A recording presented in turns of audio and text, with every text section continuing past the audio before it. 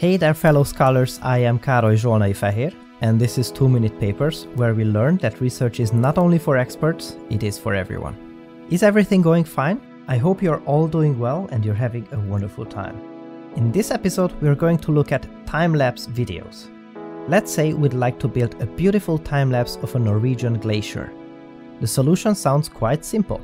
Just mine hundreds of photos from the internet and build a time-lapse video from them. If we just cut a video from them where we put them one after each other, we will see a disturbing flickering effect.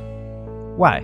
Because the images were taken at a different time of the day, so the illumination of the landscape is looking very different on all of them. They are also taken at a different time of the year and from different viewpoints. Moreover, since these images are taken by cameras, different regions of the image may be in focus and out of focus. The algorithm therefore would have to somehow equalize all of the differences between these images and bring them to a common denominator. This process we call regularization, and it is a really difficult problem. On the left you can see the flickering effect from the output of a previous algorithm that was already pretty good at regularization, but it still has quite a bit of flickering.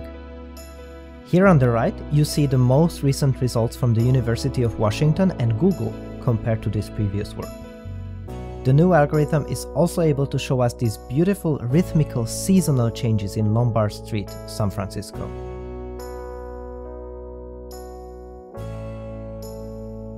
It can also show us how sculptures change over the years. And I feel that this example really shows the possibilities of the algorithm. We can observe effects around us that we would normally not notice in our everyday life, simply because of the reason that they happen too slowly. And now here's the final time-lapse for the glacier that we were looking for.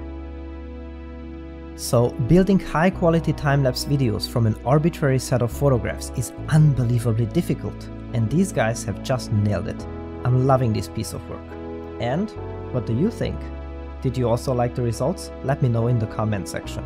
And for now, thanks for watching and I'll see you next time.